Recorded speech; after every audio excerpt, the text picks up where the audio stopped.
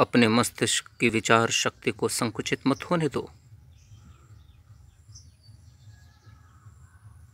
उसे कुछ दायरे में सीमित करके मत रहने का दबाव डालो।